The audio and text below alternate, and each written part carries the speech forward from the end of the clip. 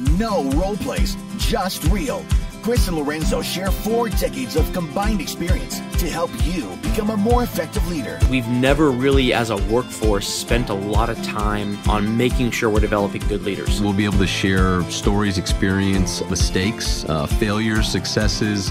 This is Hacking Your Leadership. Welcome to Hacking Your Leadership. I'm Chris. And I'm Lorenzo. And Lorenzo, on this episode, I want to talk about my sixth grade science fair project. Oh, this sounds fun. I, I think I did a volcano or something. I don't remember. Everybody did the volcano.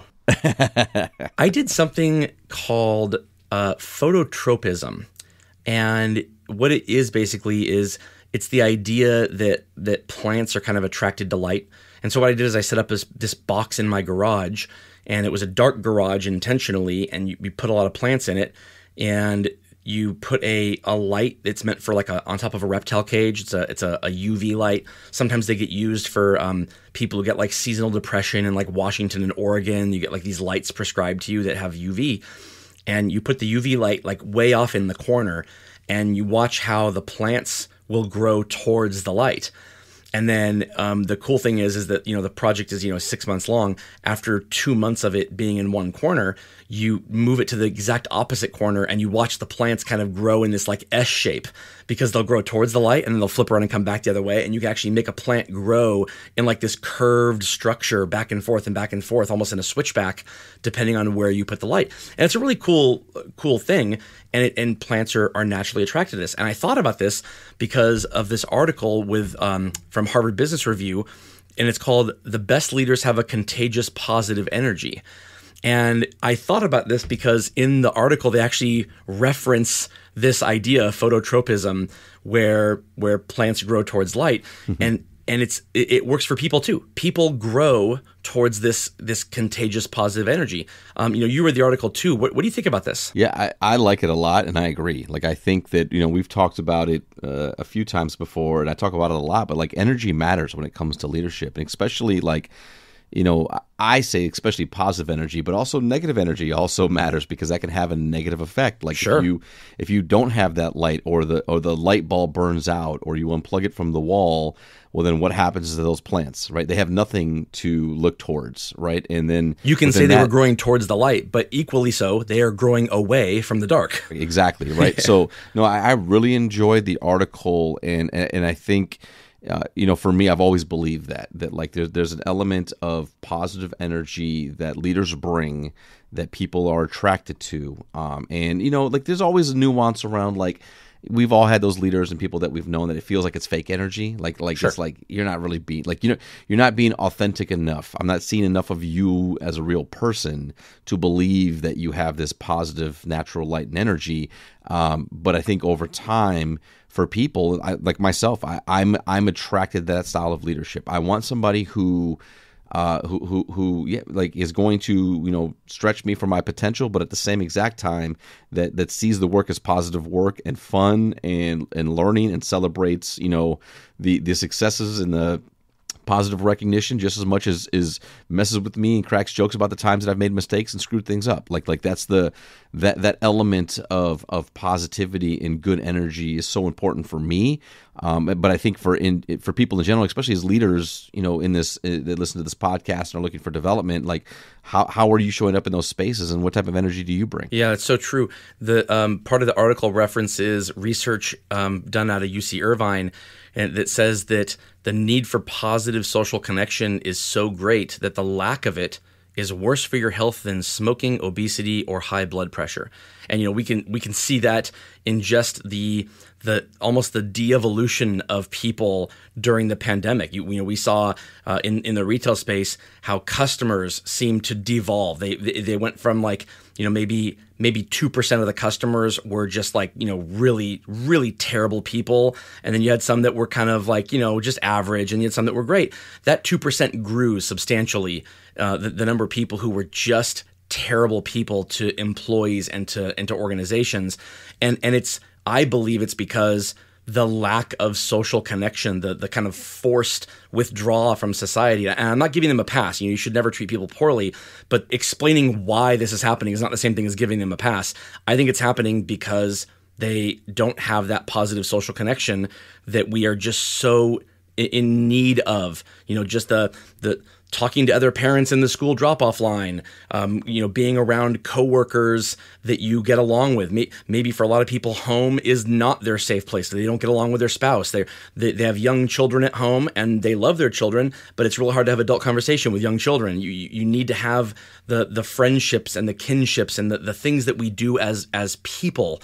Um, when that's taken away, that lack of positive social connection is, is, terrible for our health. And we see the exact same way when it comes to leadership and people at work. The people who are leaving work environments in droves right now are people who say that they don't feel respected at work. There, there's the, the, it's all about what they feel when it comes to their leadership team. And if you don't have that positive social connection, if you don't have that positive energy, then people will grow away from you, which which means leaving. Yeah, no, I think it's a great point. But I even think of just myself in those types of spaces, like not having that element of energy, not being around people physically, um, having the need to want to get outside and do things and like be, you know, like again, like it's just a, it's it's it's just a it's a thing for all of us, and I think it's just a it's a it's easy because we all experience that together um, in our own ways. We can see it for ourselves. We can see it around others around us. We could kind of reference the the pandemic. Um, and, but I think it highlights exactly what this article is talking about, which is you know the the need for that in leadership and and how not having that. Um, can cause uh, all, everything from from health issues to just uh, a lack of confidence to the ability to to to take you know calculated risks to better yourself you know in work and at home um, and and I think that it's a you know as we've talked about what's different and kind of you know pre-pandemic, post-pandemic. We've talked about leadership. We've talked about EQ. We've talked about connection. Um, I think this is also going to be one of those things where you know th- there will probably be a larger rise in these kind of positive energy style leaders um, who who people you know enjoy being around and want to talk to and want to discuss things with uh, because you know as people make those choices and they see that nuance and if, if people feel like well i can have that element of a leader over here um, or i can not have that but maybe i make a little bit more money or maybe i have this job over here i think people will continue to make those types of decisions to, to follow people and leaders that provide that for them. The idea of being able to do this if it's not in, inherent to you is is a tough one because i know for me the the experiences of my own personal life are are what have led me to prioritize things in a way that try that where, where I try to come to work like this. I try to lead people in this way with a with a sense of positivity. And and what it comes down to is uh, it's a combination of things. It's I think it's empathy and I think it's prioritization.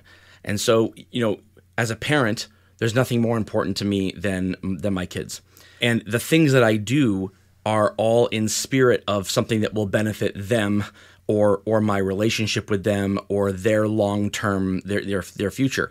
That's a, that was a huge shift for me when I had kids before where you know what was best was for me or or for my career or whatever that is. That that that change would not have been possible for me to fake or for me to make happen without the actual life changing experience of having them. Um, similarly, you know, being diagnosed with cancer several years ago and getting through that the, the it's a, it's amazing what a situation like that will do for your reprioritization, right? Uh, the, the, thinking about mm-hmm. what's important to you and what's not important. That that can lead to a tremendous growth in empathy for other people who have different situations and just kind of realizing that everybody kind of brings their own baggage to wherever they are and and to not just kind of like jump to assuming that your experience is the same experience as other people because everybody is so different. I, I, I think that you know obviously we I wouldn't wish anybody um, you know something as as uh, terrible as that is going through that, but but I think everybody listening right now you need to think about the things that have happened to you in your life that were that were challenging or that were troubling. The things that you got through came out the other side or maybe you're maybe you're going through it right now. Those are the types of situations that will that if you can get through it the right way will will lead you to be able to do this in a better way because it will increase your empathy and it will increase your sense of prioritization on what's important. And, and when it comes to leaders who you know give off this positive energy, it doesn't mean that they are they're they're, they're always positive and that they're neg- never negative. Positive energy is, is is around almost like this this acceptance of of how the world works and and not trying to be something that you're not, not trying to to put on this mask um, uh, uh, that, that, says I'm at work now. I got to act a certain way. It's it's being yourself and being positive, not just being positive for the sake of being positive. It's it's it's harder to explain. But if if if anybody who's gone through a situation like the ones that I've been through, there's there's no way you're not looking at listening to this and resonating with you in some way, like thinking, yes, I, I get this. Um, and so you really really drill into these things if you've had them in your own life and think about how they can you know lead you to lead people better. I think it's going to be even bigger than just like if, if you're currently not showing up that way, how can you put yourself in a mindset or a place to show up that way?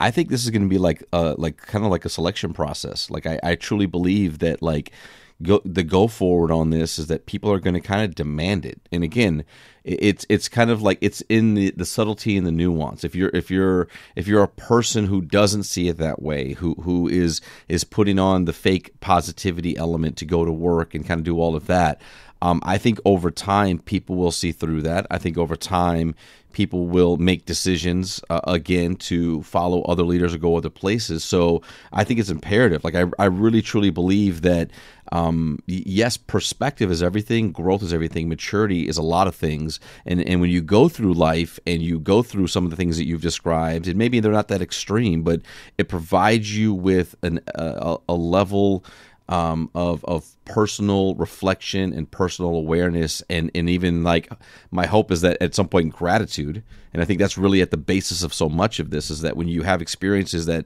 that create gratitude for just the everyday things that you have, um, I think that that is something that you know that that really uh, is going to be helpful for leaders um, in, in in being able to show up and, and, and have gratitude for the responsibility, have gratitude for their people, have gratitude for the opportunity to help shape people's careers and life and growth and that type of thing.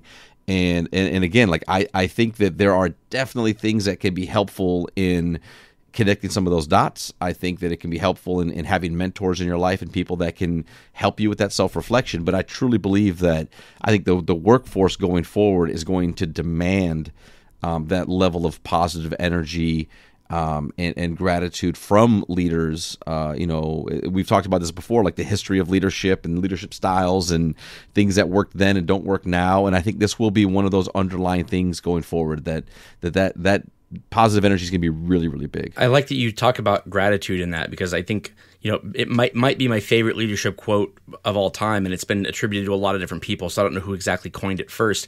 Um, it's that it is not joy that makes us grateful, it is gratitude that makes us joyful.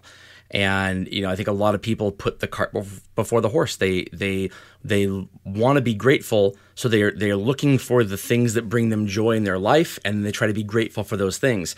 And and it is a it's really tough to find joy if you're not already grateful.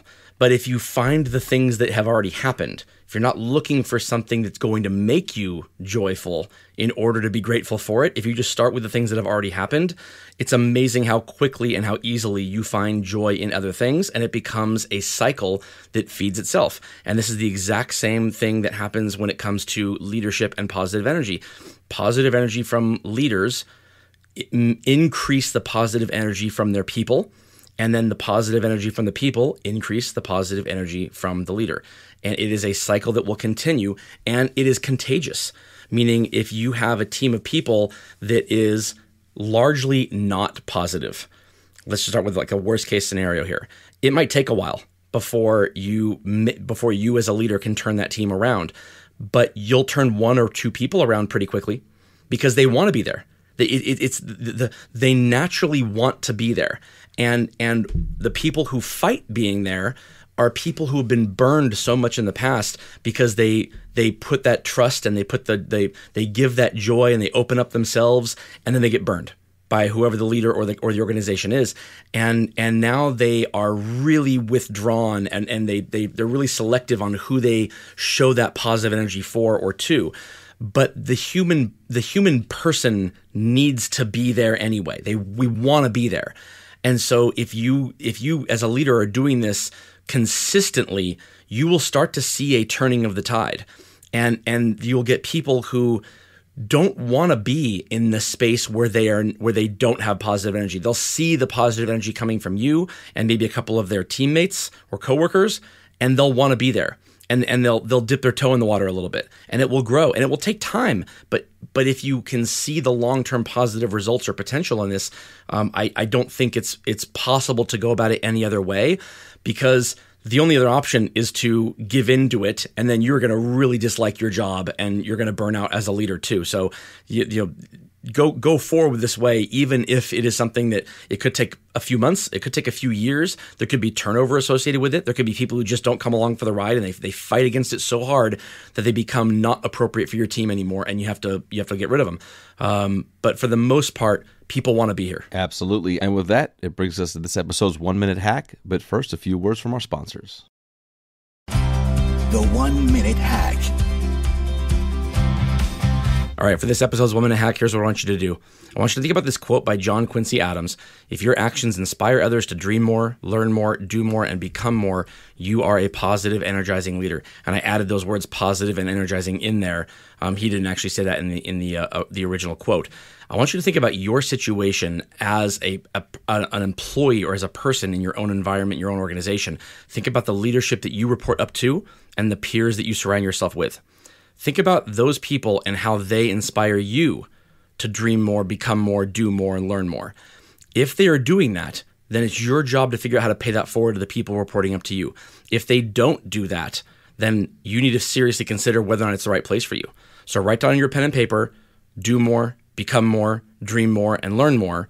And if you can you can look at those four items and think, okay, I have this person that does this for me, this person that does this for me. I can I can use these tools. I can talk to this person and find out how I can pay it forward to my people. If you can have that relationship, then you're probably in the right place and you can kind of continue this cycle with positive energy.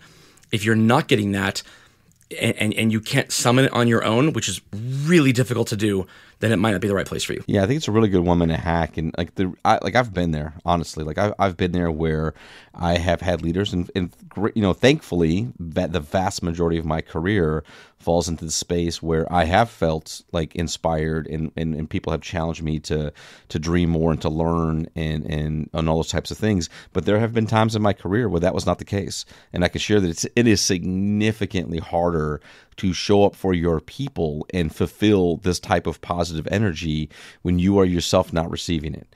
Uh, because again, it, it's a if you don't have the light that's needed to, to push you and inspire you, and, and it feels like you're just surrounded by the darkness element, it is really hard to be that light for other people. Um, and that's why this is so important, I think, in leadership is to think about are, are you getting that? Um, and, and if you're not, that can happen. But then what are you doing with your own intent or where are you pulling that, that, that resource from to make sure that you can continue to be the light needed for your people? Um, and just realizing that over time, that cannot sustain. You, you've got to figure something out. Sometimes it's figured out for you and somebody uh, you know leaves um, or or is is no longer there working with you or that you work for. Uh, but sometimes you have to make the decision for yourself. Yeah, and I also think this is this is an interesting topic because I think there are a lot of people out there who have never experienced this, and it's really difficult to see the lack of something that you've never had before. So if you've had a positive leader in the past where this has all been done for you, and now you're currently in a situation where that's not the case, pretty easy to see that. You can you can contrast it very easily. But I think a lot of people out there have never been in a situation where they've had this type of leadership before. And so they think whatever their current situation is, is the norm. And they look at things like dream more and do more and become more. And, and it's so ethereal to them that it's like, like, how is that even tangible? What do, you, what do you mean dream more and do more and become more? Uh, if you've been, if you've ever reported up through a leader who does this well, you know exactly what this is. You know exactly how that leader has inspired you to do those things. It is not ethereal. It is it is actual tangible things that you can get from positive leadership. And if you can't even process what that feels like, then it probably means you've never had this in your life. Absolutely. And with that, it brings us to the end of this episode. This is Hacking Your Leadership. I'm Lorenzo. And I'm Chris. And we'll talk to you all next time.